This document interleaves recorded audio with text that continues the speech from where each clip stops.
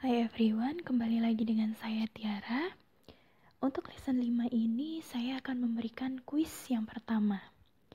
Uh, yaitu membahas tentang soal-soal mengenai gelombang berjalan dan gelombang stasioner serta persamaan umum gelombang. Soal yang pertama, kita perhatikan pada uh, gambar berikut sebuah gelombang pada suatu saat tertentu di mana titik A, titik B, dan titik C segaris. Begitu juga dengan titik D dan titik E. Simpangan titik A sama dengan 0,5 amplitudo, sedangkan simpangan di titik E adalah negatif 0,5 amplitudo.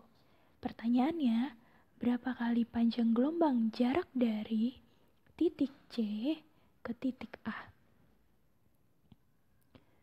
Soal yang kedua, kita perhatikan gambar Gelombang pada tali merambat dengan kecepatan 6 meter per sekon.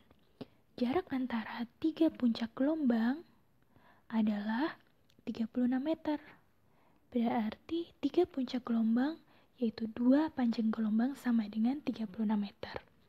Pertanyaannya, berapa panjang gelombangnya dan berapa frekuensi gelombang tersebut? Soal nomor 3, pada Percobaan Milde seperti pada gambar terbentuk tiga perut gelombang dari sinar dari senar yang panjangnya satu setengah meter. Jika pada ujung kawat digantungkan beban 15 gram dan massa senar adalah 3 gram, tentukan panjang gelombang pada senar, cepat rambat gelombang, serta frekuensi sumber getarnya. Soal yang keempat, Seorang nelayan merasakan perahunya dihempas gelombang, sehingga perahu bergerak naik turun. Waktu yang diperlukan untuk bergerak dari puncak ke lembah adalah tiga sekon. Artinya ini ini adalah periode. Nelayan juga mengamati bahwa jarak antar puncak gelombang adalah 12 meter. Jarak antar puncak gelombang artinya panjang gelombangnya. Yang, per, yang jadi pertanyaan adalah Waktu yang diperlukan oleh gelombang untuk mencapai pantai yang jauhnya 100 meter adalah Soal nomor 5 Persamaan simpangan gelombangnya adalah sebagai berikut di mana T dalam sekon dan X-nya dalam meter.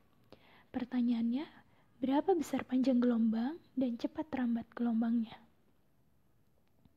Persa pertanya pertanyaan yang keenam dan soal terakhir, seutas tali Peki panjangnya 8 meter.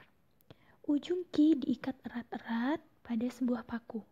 Ujung P digetarkan terus-menerus dengan amplitudonya 5, 5 cm dan frekuensi getarnya adalah 2 Hz.